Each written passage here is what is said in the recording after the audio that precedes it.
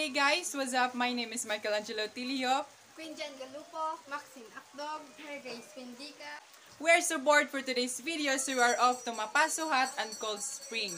Yes, Mapaso is a well-known places in Santiago, Agusan del Norte where people celebrating birthday, celebration, and anniversary, and etc. But before that, we are going to navigate first, which we are going to go to Andwa Transpo.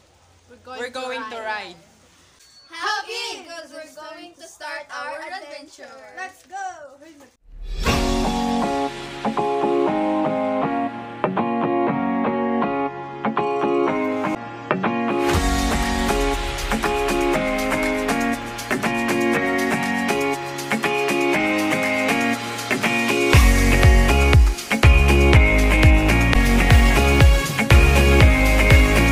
Guys, nananday mi diri sa grocery kay mamalit mi og among pagkaon para mo dalon dito sa Mapaso.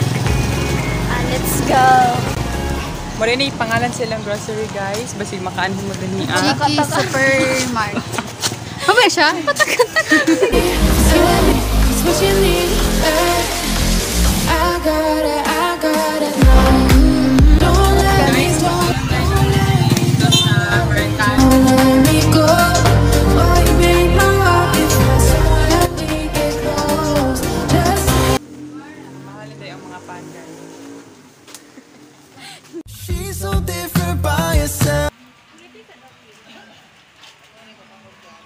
so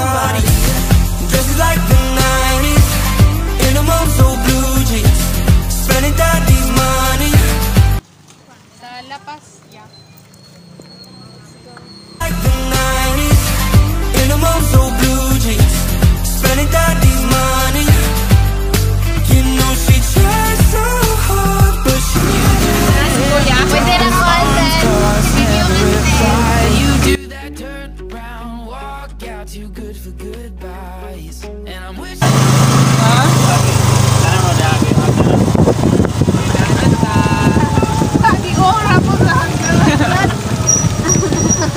You do that touching that you just. Naara ko. Lama. Ha, sa ubos? si Kuya to.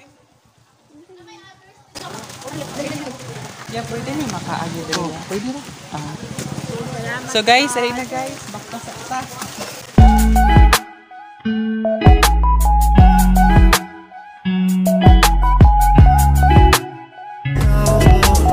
Let's be getting high. Maybe we can go to the other side. Can you hear it? Nadungog na nato ang agos ng pagmamahal. Oh my God. Hi guys! So nanaday pa diri sa Mapaso Resort. So na entrance 5 pesos. Then if sa you cottage, want 200. mag-package 100. So, let's go! Take us to the.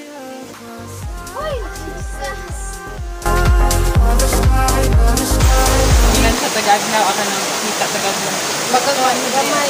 One side. Araw, Diyos. Ulan-ulan. May nakalimutin ko po. Baso. Pila ni ka-cottage diri ako kay Dito mo. Sa kumbang. Pito?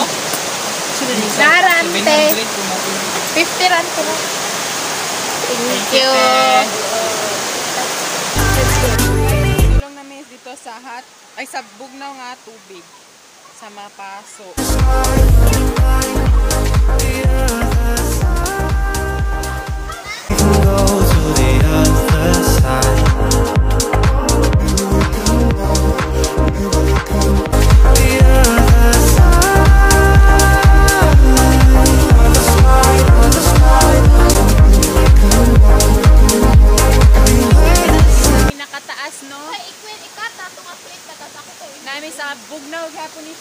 park guys.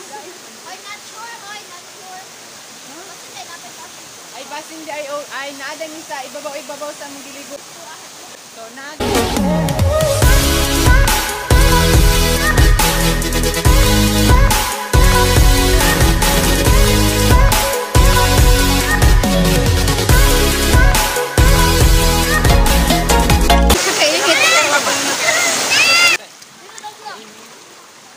nga parts, magiging pinaka parang init siya sa ato ng ma-experience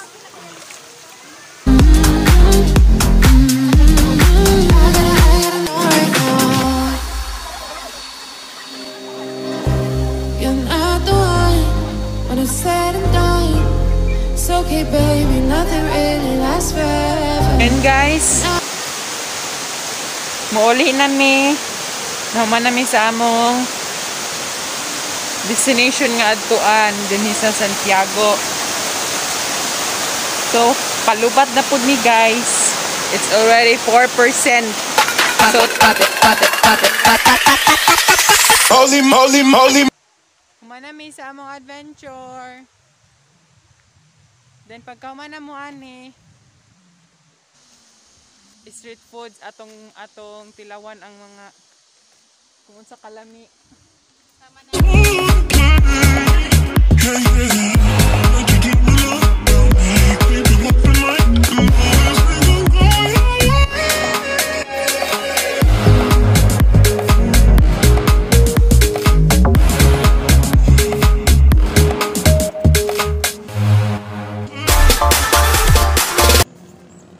gi-take out na namo ang among gipalit.